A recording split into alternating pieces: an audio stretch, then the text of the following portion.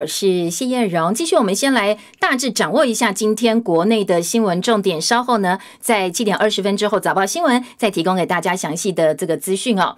国民党宣布要派团出席大陆厦门参加这个月二十号登场的海峡论坛，是由前立法院长王金平担任团长。王金平此行有机会跟大陆全国政协主席汪洋见面，而国民党的秘书长李乾隆是副团长。李乾隆说，国民党在这个时候有责任为两岸交流搭起桥。而这一次到大陆团员大幅缩减，因为疫情的关系，只有十个人。陆委会则提醒，参与具有统战性质的海峡论坛，应该注意台湾社会的观感。不能够进行违法合作或者签协议备忘录等等文书，通通都是不可以的。民进党昨天晚间也发了声明说，海峡论坛的目的是统战，所以党员严禁参加。访问团预计十六号从台北到厦门，二十一号回到台北。到厦门之后，当然还是要进行隔离检疫，但是呢，这一次隔离的时间大幅缩短，只有两天。回来台湾就要自行检疫隔离十四天。美呃，另外，蔡英文总统日前宣布放宽美猪美牛进口之后，外界的争论相当大。美国在台协会昨天晚间邀请民进党立委跟台湾激进立委陈柏伟参叙。出席的委员说，会中大家针对美猪以及呢台美关系合作等等议题交换意见，也有部分受邀立委因为有行程，所以最后是没有出席的。昨天的参叙当中谈论到未来台美合作议题，例如贸易协定等等，也说到了台美双方未来要怎么样深度合作，包括在国家安全的部分，不仅仅是军购而已。当然。美猪议题是少不了的，是会中讨论的重点。委员说，A I T 没有进行游说，而是想要了解台湾社会的反应以及委员的看法。另外，针对台美军事交流以及安全合作议题，也交换意见。好，昨天都是呃绿营或者是立场偏绿，这个所谓的小绿的立委参加，外界关注 A I T 邀请国民党立委，那到时候国民党立委会不会去？国民党主席江启臣昨天在台中说，因为大家希望哦是集体参加，所以时间还在瞧，还在接洽。一定会在适当的时候表达对于美猪议题、台湾民众的心声，告诉美国。而蔡政府以行政命令宣布开放含有瘦肉精美猪进口，引起相当多的抨击。百米炸弹客杨如门以及民间团体代表、一建的各界人士，昨天出面呼吁反对开放，痛批重大政策没有经过审议，用行政权强行扣关。葬送台湾猪之外，也葬送了民主。如果政府持续蛮横的话，民间团体以及杨如门他们说，一定会上街头抗议。国民党这个星期六日周末要在二十二县市设上百个连数点，全台同步发动。捍卫台湾猪来猪不要来的食安公投连署，党主席江启臣在内的党务主管两天之内会跑遍二十二县市，用马拉松接力的方式开讲。礼拜天在养猪大县云林大会师，希望两天能够冲破上万份的连数。好，这是美猪议题哦。稍后在早报新闻当中还有其他面向不同角度的报道，也欢迎大家锁定收听。而疫情方面呢？昨天台湾公布新增一例，呃，新增的境外移入个案，这是本国籍的二十多岁女性，长期在法国工作。上一次从台湾出境时间是去年的十二月，在当地就诊之后确诊是流感，不过今年的九月六号独自返国之后就确诊是新冠病毒了。这名个案八月三十号出现头疼、肌肉酸痛等等症状，而经过服药之后症状改善。九月六号入境的时候有流鼻水，主动向机场检疫人员通报，所以就到集中检疫所。呃，昨天确诊之后呢，已经隔离治疗。而法国参议院首度邀请我驻法国代表吴志忠，在巴黎时间九号，台湾时间今天下午的三点钟要出席调查委员的听证会。那我们也第一次哦踏进法国参议院，分享台湾的防疫经验。特约记者戚海伦的报道。新冠肺炎疫情在法国，依照官方数据，已经至少有近三十三万人确诊，夺走了三万条人命。如果依照约翰霍普金斯大学的即时统计，数字更高。法国参议院议长拉谢要求成立调查委员会，评估公共政策面对疫情的成效。调查委员会的位阶是高于咨询小组，受到法国社会高度瞩目。到七月底为止，已经举行了九场听证会，邀集三十七位专家学者、医疗人员和政界领袖出席讨论。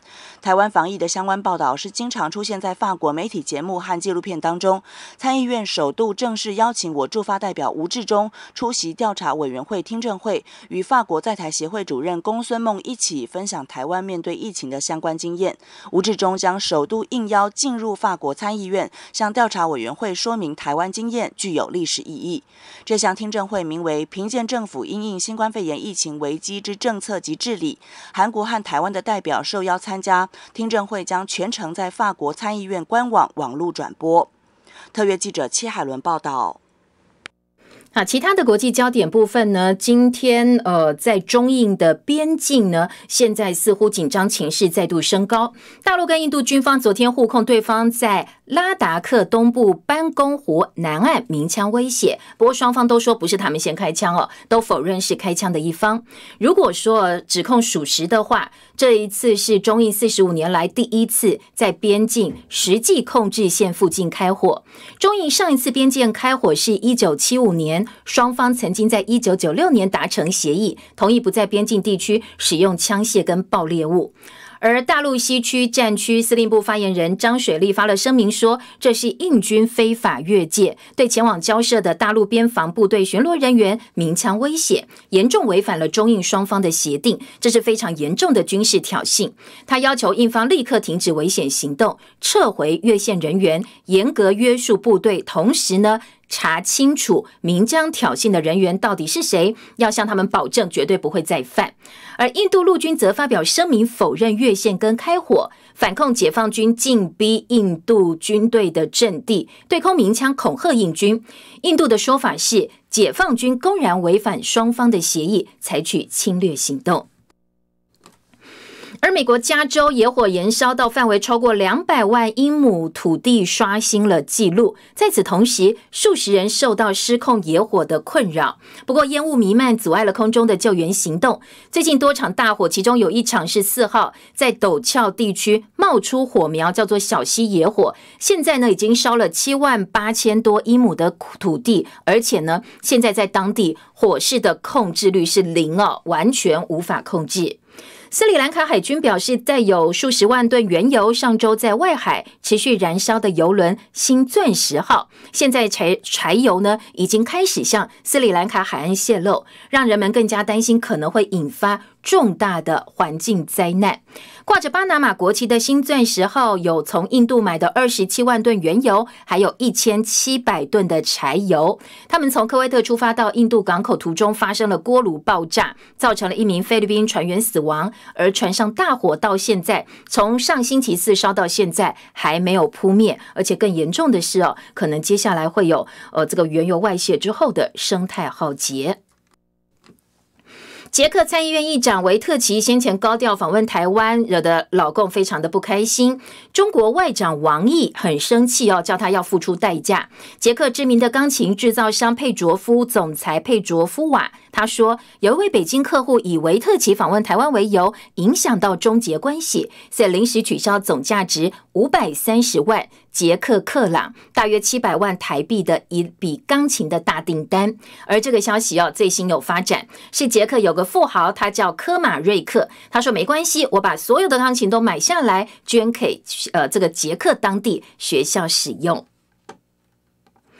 好，继续焦点转回国内，疾管署昨天公布国内新增第八个汉他病毒出血热的病例。这个患者呢住在屏东，五十多岁女性，她一个多月前曾经被老鼠咬伤，住家有老鼠的踪迹。疾管署说，今年已经累计有八起汉他病毒出血热的病例，而疑似病例有一百多起，一百零七起的两个数字哦，都是二十五年来的新高。如果家里有老鼠的话，特别注意喽。荣华一的报道。疾管署统计，汉他病毒出血热今年以来通报疑似病例一百零七例，最近四年通报数则介于二十四到六十一例之间。最近四年同期确诊病例最多仅三例。住在屏东的五十几岁妇人，八月十七号起出现发烧、头痛、后眼窝痛、肌肉痛等症状，两度就医后住院治疗，经检验确诊感染汉他病毒出血热。机关署防疫医师苏家斌指出，汉他病毒是人畜共通传染病，病毒存在于被感染的老鼠等啮齿类动物的排泄物中，被啮齿类动物咬伤或接触到它的排泄物就有感染风险，感染后会潜伏几天到两个月。苏家斌说。如果你在做餐饮业或者是工厂的时候呢，一定要落实环境卫生，因为很容易有窝藏老鼠。我们这边要强调，就是因为老鼠的分泌物它是有这个传染性的，所以如果你有发现老鼠的粪便或者是分泌物，你要清理的时候，就要记得一定要戴口罩、戴手套，然后用稀释的漂白水去清理。苏家斌提醒民众留意住家环境中老鼠可能入侵的路径，厨余和动物饲料要妥善处理，清理老鼠排泄物要用一公升清水加一百 CC 漂白水泼洒在被污染的环境，三十分钟后再清理。中广记者荣华仪在台北报道。网球球王乔科维奇在美网误伤现审被判失格之后，美国名将马克安诺他直言哦，这一次事件呢会让乔科维奇永远背负坏蛋形象。而网络上现在出现了谩骂现审的声音，而维乔科维奇也亲上火线帮现审辩护。有人在社群媒体说这个现审是装的，让这个判决是否过重的议题引起广泛讨论。其中呢也包括好多在社群网络上为乔科维奇喊冤的。球迷粉丝有人说这个现神演的很烂，装的很糟，还有一则留言更是直接骂他很可耻哦，说呃这个他是浑身充满邪恶。而在乔科维奇部分，推特感谢球迷之外呢，也为现审辩护。他说要记得哦，前天晚间被球打到现审，需要大家的支持，他没有做错任何事情，希望大家特别给现审支持跟关心。四十四岁日本男星伊势古友在家中持有大麻，涉嫌违法被取缔，以现行犯逮捕。他在最新的日剧。未满警察当中饰演警察学校的教官角色呢，是拥有现场搜查官的背景。不过呢，他这样一个角色跟他在荧幕上正义形象，呃，其实差很多。知法犯法，接下来他自己的演艺之路恐怕蒙上了一层阴影。一是古有界，他的演艺力资历相当丰富，在《神剑闯江湖》电影版以及大河剧《龙马传》当中都看得到。而他过去呢，跟一些女星交往过，也相。当有名，包括广末凉子、吉川楚乃、木村佳乃、长泽雅美等等，通通都是他的女朋友。七点二十一分上英文课喽，新闻美语即时通。Learn a word。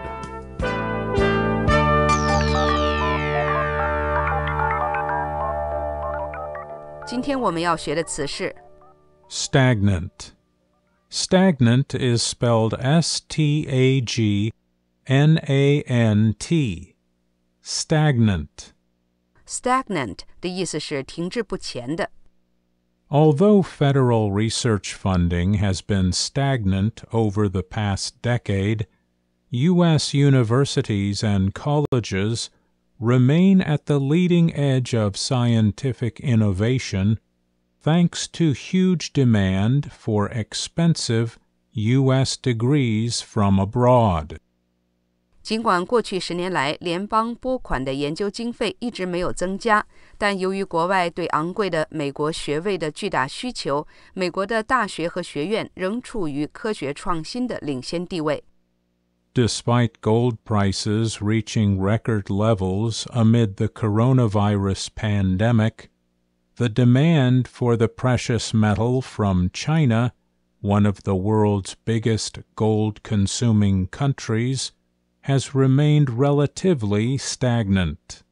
尽管在冠状病毒大流行期间，黄金价格达到了创纪录的水平，但中国作为世界上最大的黄金消费国之一，对黄金的需求仍然相对停滞。好的，我们今天学习的词是 stagnant, stagnant, stagnant。好，要提醒哦，中广新闻网跟呃美国基因合作的新闻美语即时通，我们直播到九月十六号最后一集啊，也非常谢谢大家这么多年的支持，谢谢大家。千秋万世，尽付笑谈中。我是气质王小姐浅秋，八月三十一日起，每周一到五上午八点到九点，在中广新闻网千秋万世，掌握时事，聊政治，谈旅游。化文学以及产业趋势，与您一起聪明思辨，强大内心。任凭风雨，快乐前行。中广新闻网有 Telegram 官方账号喽，没空找新闻就 follow 中广新闻 Telegram，重点新闻踢过来，时事话题都能接，简单三步骤，下载注册 Telegram，搜寻大写 BCC News，加入 BCC 中广新闻官方版，轻松掌握一天大小事，让你成为话题王，还不赶快加入？生命就该浪费在美好的事物上，享用美食，欣赏美景，听听世界各地有趣故事，用心享受生命中流动的响宴。我是欢欢和庭欢，周一到周五十一点零七分，我在中广新闻网《生活有够欢》YouTube 中广新闻网频道同步直播，邀您一起让人生得意须尽欢。病毒拉开了我们的距离，但困境让你我的心更靠近。中广新闻网关心您。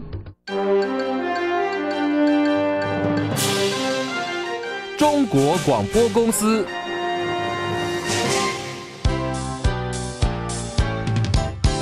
中广早报新闻。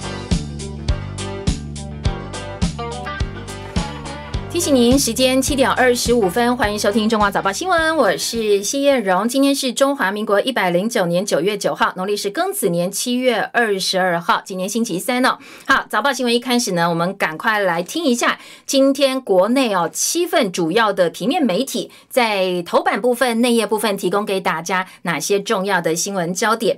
呃，今天七份早报包括综合性报纸，包括财经的两份财经专业报纸《工商经济》，我算了一下，大概十五条新闻没有一条是重复的，所以呢，我们也不多说，直接来听听看各个报纸在头版的一个新闻编排。今天联合报头版头条，哎，好久没有听到前瞻预算的焦点了。今天联合报说，哎，在默默当中哦，这一次前瞻预算有了相当大幅度的一个调整，坐在头版以及内页的二版。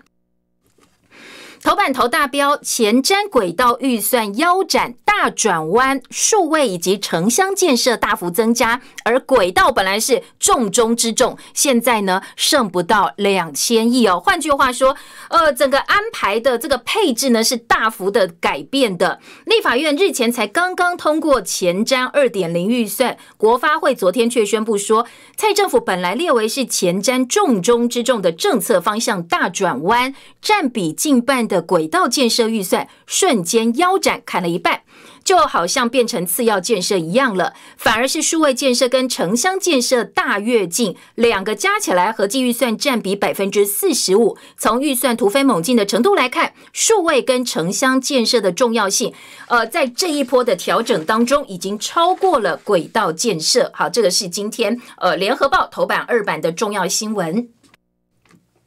那当然，这个东西呢，本来大家对轨道建设的这个用这么多钱，到底有没有这样的必要？是不是符合未来的一个趋势？有很多的质疑哦。所以这个方向调整，原则上大家认为是没问题的。但是有两个重点，一个是，那你当初在规划什么？当初在规划的时候，呃，是不是经过完整的一个思考，或者是呃完整的考量？端出来的，还是说只是要讨好地方，就贸然的开出了这么高比例的一个轨道建设的一个预算，还有区块，那这是一个部分。另外一个蓝营说，你这个时候去调整所谓的城乡建设跟数位建设。二零二二年有这个县市长选举，二零二四年有总统大选，是不是要开始绑桩了呢？特别是在所谓的数位建设跟网络这一块，呃，这是现在执政党的强项哦。所以在野党说，哎，这个很奇怪哦，在这个时候做这样的一个安排。那联合报在头版就提到说，蓝军质疑选举绑桩。交大运输物流管理学系的荣誉教授。蓝武王说，很多轨道建设没有经过可行性研究就被框列，每个县市都用喊价的，大家一直喊，就喊到四千多亿元。当执行力大打折扣、办不成的时候，经费被砍是可以预期到的。那我们的官方说法提出来说，为什么会做这么大幅度的调整呢？呃，国发会主委龚明鑫说，我们没有删减预算啦，最主要原因是轨道建设推动期程比较长，所以呢，我们把在四年内可以完成的先编在里头，譬如说花东铁路双轨电气化啦，台南铁路地下化等等。那其他可能需要比较长时间的，我们就不要用前瞻预算了，我们回归到所谓的每年一般公共建设设预算。所以他说，我们没有要砍，或者是没有要调整，只是把预算的这个名目呢稍微换了一下。不过交通部说，现在整个国家。重大轨道建设发展的预算没有任何的调整，所以大家不要紧张。联合报今天在内页二版有学者的看法说，确实哦，现在不急的可以暂缓，但是蓝营担心这钱要去拿去呃部建网军的啦，因为选举马上就要到了，二零二二、二零二四选举的这个选战呢，已经提前开打了。那大家记不记得哦？其实先前蔡政府大肆宣传说，我们这一次在前瞻用这么多的钱去做轨道建设，目标是希望八年之后不要再羡慕日本了，我们可以跟日本一样，有非常非常完善的一个呃轨道建设或者是交通，所以完整的交通系统是可以缩短城乡差距，对整个国体的规划非常重要，所以我们必须要列入前瞻计划。那现在好啦，那呃，如果说真的要来呃这个提升的话，那整个预算你改口是不是应该向民众道歉呢？当然这部分呢也引起了一些讨论。这是联合报今天的头版头条以及头版二题。那联合报下半版面安排的则是。外电焦点，今天的外电焦点是中印边境的冲突，说中印边境枪响四十五年来头一遭，互控开火，局势相当严峻。好，今天在呃早报联合报的头版二题提到。大陆跟印度军方八号互控对方在拉达克东部班公湖南岸鸣枪威胁，双方都否认是开枪的一方。不过，如果是真的话，这将是中印四十五年来第一次在边境的实际控制线下，在这个附近开火的。所以，今天在联合报利用头版二题相当显著的版面，告诉大家这一起重要的外电焦点。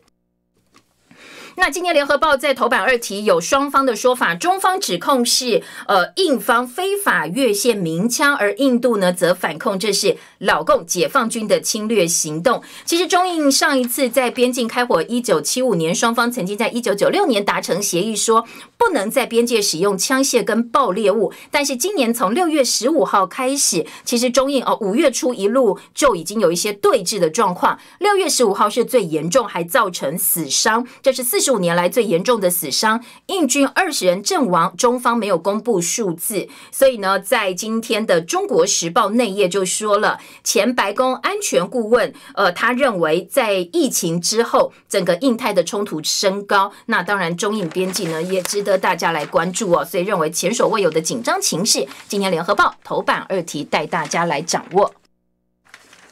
而中国时报今天的头版头条则是海峡论坛，海峡论坛二十号要开幕，在大陆厦门。那先前我们的陆委会，呃，这个话讲得很重哦，希望大家不要参加，而且搬出了呃这个呃我们的国安无法来来告诉大家不要去。不过呢，似乎国民党决定要走自己的路哦。今天在呃中国时报头版头条说。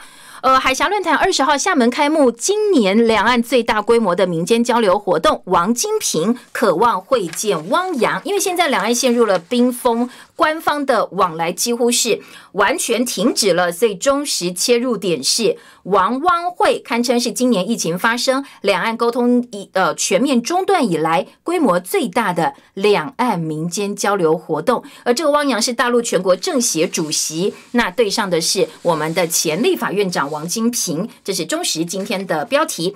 旺报标题则是说这是海峡破冰交流解僵局，说呢在现在这么紧张的时候，王金平。到厦门，大陆学者认为，呃，从这个呃这一次王金平执意要去，可以看得出来，两岸之间的和解还有一线生机，还有希望，并没有完全绝望。当然，这是旺旺中实集团今天两个报纸下的标题。而中实头版头提到说，王金平确定代表国民党率团参加那。党秘书长李乾龙则是副团长，王金平是团长。除了参加海峡论坛之外，也会参访厦门地区的台商企业。同时，跟当地的一些台湾的师生举办座谈会。十六号出发，二十一号晚间回台。那国民党定位是继二零零五年连战访问大陆之后，第二次的破冰之旅。呃，这是在蓝营方面哦，新党、亲民党也会组团同行。不过呢，在执政党以及我们的官方部分，陆委会先前已经提出三项禁止，寄出反渗透法提醒，呃，到海峡论坛去参加海峡论坛要小心触法哟。国民党昨天说，我们的官方交流已经中断，所以在野党国民党必须要扛起重担，在海峡为台湾的繁荣、为两岸和平做努力，希望透过沟通能够化解双方的僵局。不过，昨天陆委会强调，我方人士参加具有统战性质的海峡论坛，应该遵守两岸关系条例规范，不能够进行违法的合作行为或缔结联盟。呃，文书通通不能签哦，协议是不能签的。这是陆委会方面的提醒。好，那到底官方对于两岸交流有没有这样的意愿呢？呃，当然过去哦，这个蔡总统多次强调。在尊重以及正视中华民国台湾存在的前提之下，当然愿意跟两岸做一个交流。不过，这种所谓的官方私下似乎现在没有任何的机会。那透过王金平传话有没有可能呢？今天《中国时报》的三版呢，王金平。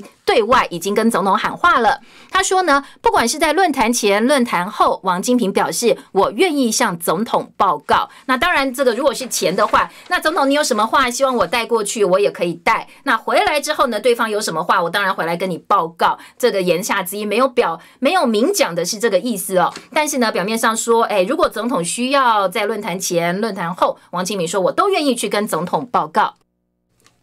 希望能够缓和两岸对立，为两千三百万台湾人发声。他说：“如果总统需要，那王金明说，我一定遵从总统的意思。接下来就要看总统府喽，看总统府有没有这样一个呃这个态度哦，说希望跟。”大陆方面在这么冰冻的关系当中，有一点点解封的机会。那今天中十三版记者林俊杰的特稿说，呃，这次由乔王出马，因为过去王金平在立法院长期间，大家都说他是乔王哦。蓝营就是王金平，绿营就是柯建明，这两大乔王在立法院可以说是呼风唤雨。那这一次王金平的这个角色换到两岸，有没有机会为两岸争取对话空间呢？大家拭目以待。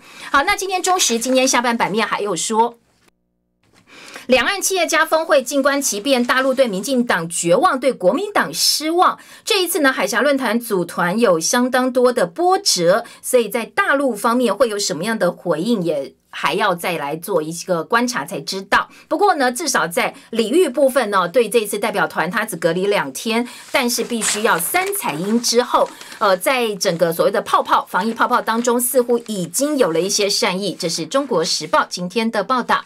好，我们再来听到的是，呃，今天在。中时的头版二继续来关心美珠风暴。中时头版二说，蔡政府被轰比马政府退步，这是时代力量炮轰蔡英文政府在这一次开放美猪进口政策整个过程当中哦，非常的蛮横。那中时的头版大标还有，呃，这个。卖药比卖肉赚更大。医生说，四年之后，我们可能还会再被勒索进口莱克多巴胺。所以这个战场呢，恐怕不止猪肉而已，你全猪进口也没有办法摆平哦，因为它还要再卖药。那如果卖莱克多巴胺给你，换句话说，你就要开放国内使用，而且对于美商来讲，这个利润是更丰厚的。好，今天《中国时报》的头版二说，卫福部食药署七号深夜发动突袭，巧巧预告修正美加牛肉以及产品进口规定，把猪肉残留莱克多巴胺的容许量。呃，这个公告了，但是呢，在猪油部分，昨天说的是并没有规定要来直接标示产地。那民间团体炮轰啊，那我这很多猪油哎，我葱油饼也要用，我月饼也要用，马上哦，这个端午节就要，呃，这个中秋节就要到了，那怎么办呢？今天在中时哦，有陈时中昨天最新的说法，他说，因为我们呃时间很赶，时程很赶，所以赶快赶着公告，才会在半夜呃这么敏感的一个时间点很。很多人说好像是偷偷的上架一样哦，才会在半夜公布。另外一个就是关于所谓猪脂这个脂肪的部分、油的部分呢。呃，陈时中说他的立场还是要标。那接下来呢，听各方意见之后，还是会朝向标示的方向来做。好，这个跟呃先前我们公布的整个条文内容是不一样的哦。好，今今天的中时呢，还有在野党的说法。在野党跟民间团体昨天总算是呃这个声音分贝量稍微大一点了。今天中时的头版二说，百米炸弹客杨如门昨天呃开了记者会，他强调说，政府竟然坚持开放瘦肉精的美猪进口，为什么国内猪牛是禁用的？这明显是不公平的竞争，本土农业会被牺牲。因为如果说美猪比较便宜，它用瘦肉精很快养的呃这个肉又多又呃又这个产量又大，时间又短，那我们的猪。你相对付出的这个成本比较高，你卖的价格也比较高，你怎么来跟这些美国猪肉竞争呢？所以他说这是牺牲了我们的猪农。那这个一部分，另外一个部分是你进口有毒的猪肉卖给台湾人吃有没有问题呀？所以呢，百米炸弹客跟一些民间团体，他们昨天说。呃，如果说政府再这样不听民众心声的话，他们要上街头抗议喽。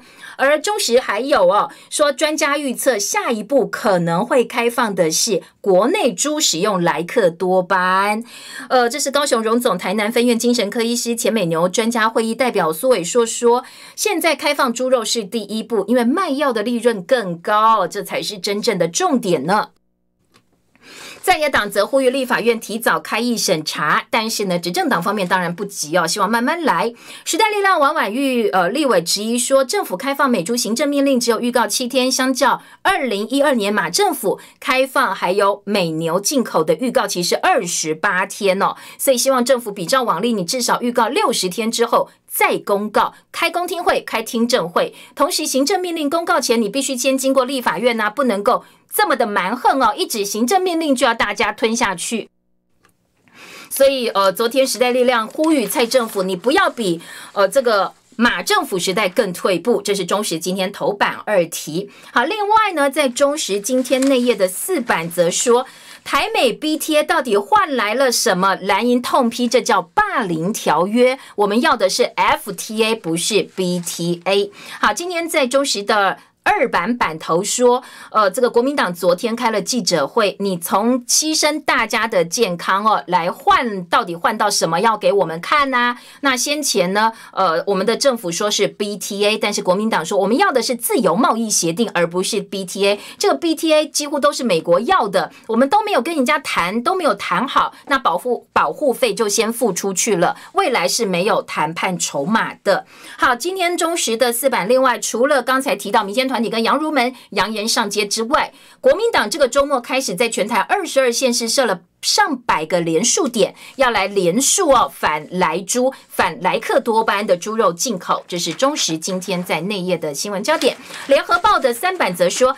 地方斗法自治条例兵临城下，中央如果挡的话，小心哦，沦为背心双标的骂名。说现在整个战场呢，民意反扑，后坐力恐怕不是执政党想挡就挡得下来的。那今天联合报的立论观点是，现在蓝营执政的十五个县市打算用自治条例自立救济来反制中央开放含有瘦肉精的美国猪肉。未来呃，如果说中央坚持哦，这个呃必须要其一步骤。不能够乱套，这是苏贞昌的说法。不过，如果民意反扑的话，你该怎么办？你等于是跟整个呃这个民意作对哦。这样的政府，你可以承受这样一个后坐力吗？双重标准的骂名，恐怕要小心哦。另外，昨天。嘉义市云林县坚持零检出，嘉义市前天更是直接把呃这个呃自治条例送到议会去议读之后，云林也推出认证标章。云林说，我们经过认证的一定是没有呃莱克多巴胺的，如果你违反就罚两亿元。而嘉义市长王黄敏惠更说，你如果政府你从源头不开始管，叫我们大家自负风险，自己去筛选，自己选择要不要买，那要政府做什么呢？好，这是地方的说法。另外一纸命令逼吃来猪，千人怒反。现在有家长以及呃医疗界团体、农民组合团体，大家都要站出来反对这个莱克多巴胺的猪肉。好，这是今天在内页联合报的三版。呃，其他的这个焦点呢，当然，苹果日报在二版也做很多。苹果日报二版重点是陈时中改口说，这个呃猪油也要标示，放了相当大篇幅的一个版面。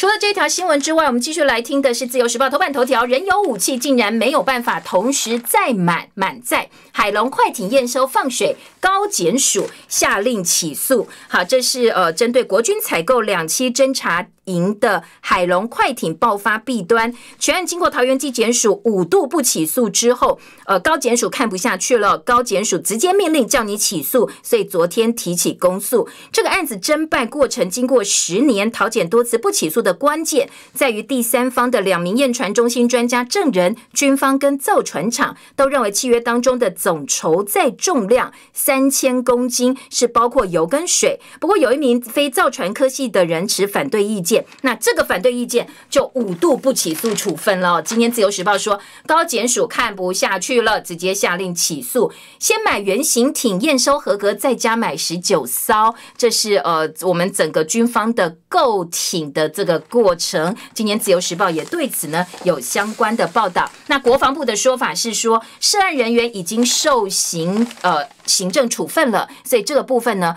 已经呃完成了在军方部分的呃这个侦查。说我们本来买原型艇测试通过，不过使用实际使用的时候发现，快艇如果你是满载油料的话，你就没有办法满载人员跟武器弹药，显然是有非常非常多的熟悉。这是自由时报今天的头版头条。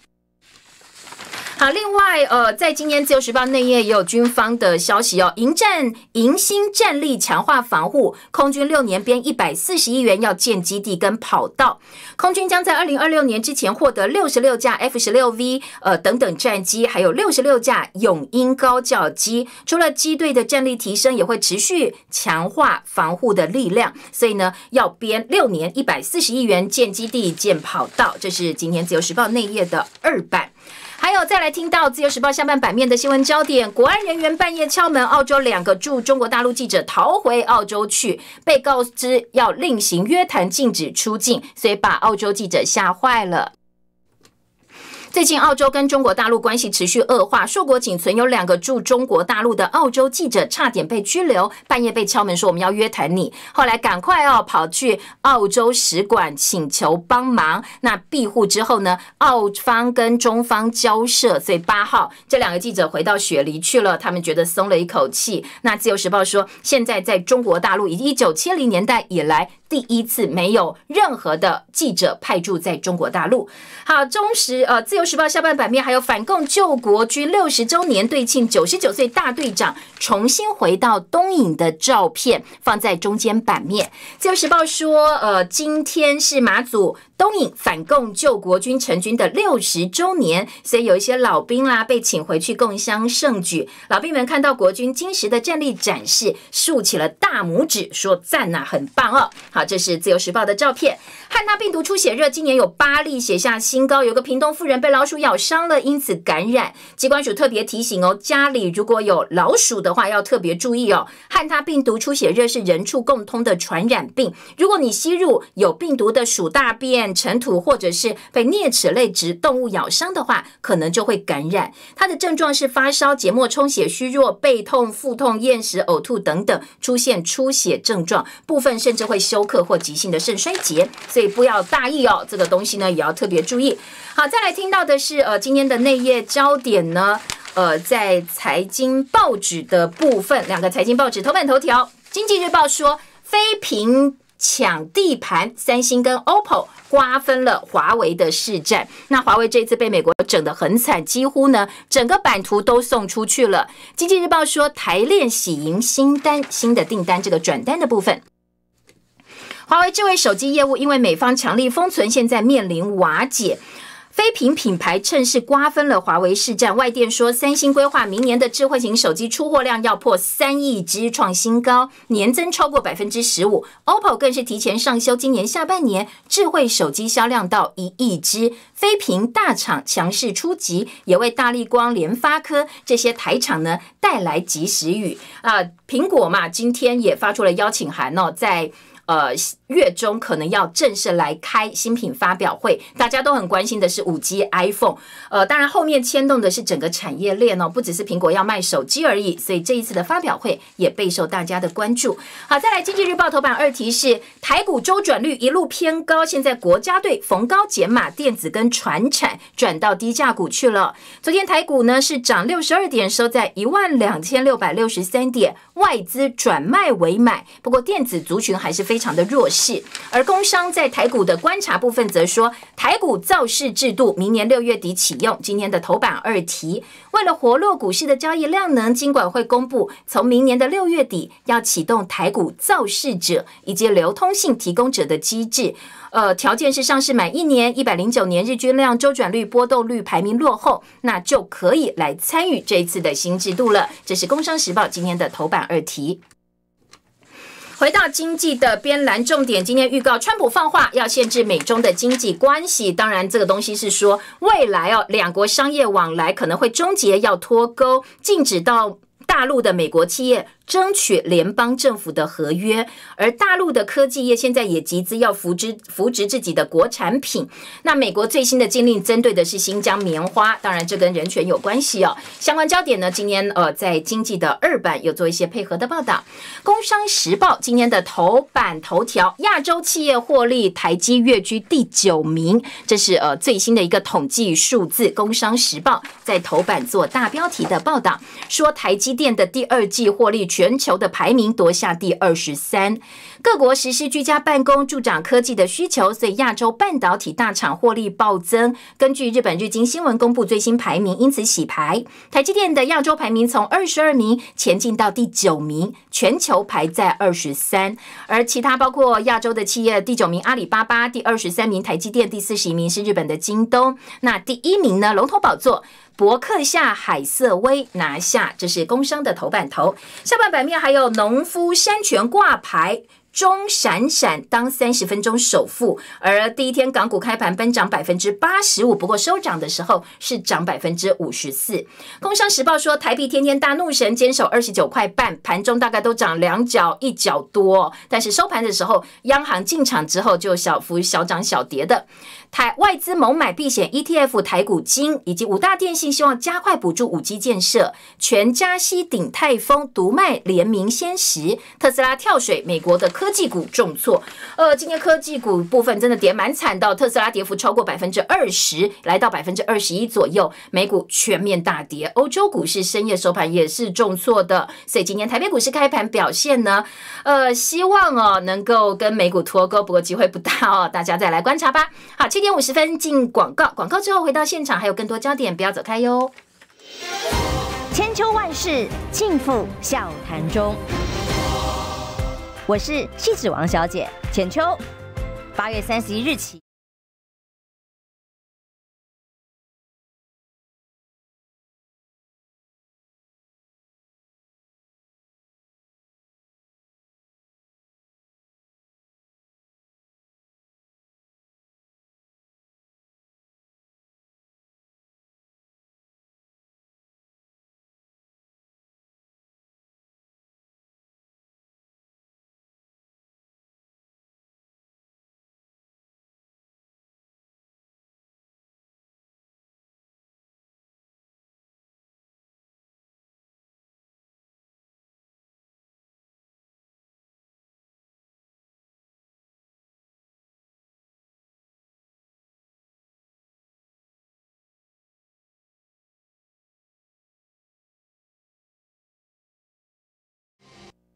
七点五十一分，欢迎回到中广早报新闻，我是谢艳荣。好，赶快来听今天的内页焦点。今天的呃，自由跟中时的二版都关心的是，昨天在台湾，呃，有一场凯达格兰论坛哦，美国的前国安顾问麦马斯特，以及呢，在呃奥巴马时期的呃这个国安顾问呢，两个人都参加了。那今天自由跟中时切的焦点不太一样。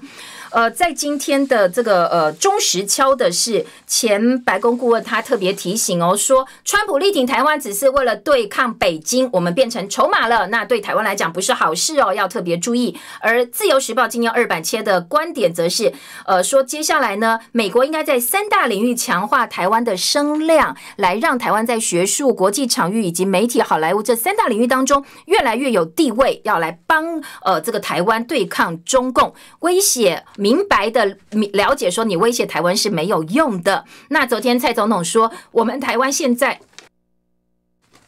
除了需要避战之外，也必须要捍卫民主的策略。所以呢，在这个部分，我们必须要站稳，要有强化自己的一个立场。这是自由时报。